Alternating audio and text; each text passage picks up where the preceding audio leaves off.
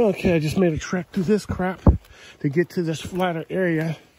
You know, it's kind of funny how these things change with the season and where you're going to find them growing. Oh, look at that right there. See that eggshell right there? I don't know if you guys can see that. I'm going to walk up on it here.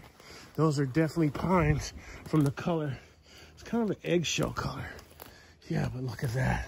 I might have three there, maybe even more. But yeah, those are some nice pines right there. Hiding out in the middle of all this. Look at that. Yeah, those are some nice pines. Yeah, boy. Score. Score, baby.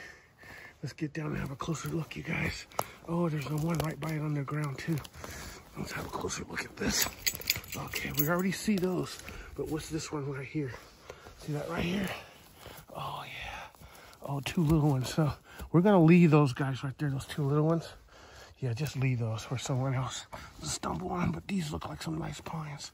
Let's see if I can get under here. All right. There you see that ash down there? That's what you want.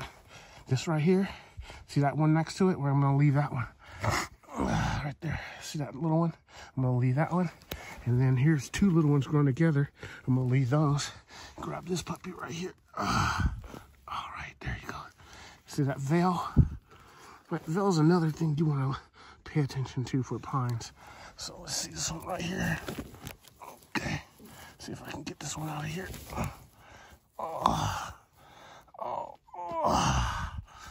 Another pine. Yeah, so that was a nice find. It was worth hiking in here. But what a nice find. Uh, those two are going to be maybe about four to five days.